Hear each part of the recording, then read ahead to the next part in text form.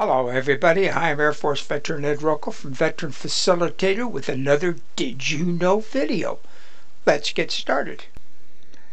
I can't tell you how many times veterans have told me I went down to that damn VA and they told me I didn't qualify for health care because I made too much money. So I never went back.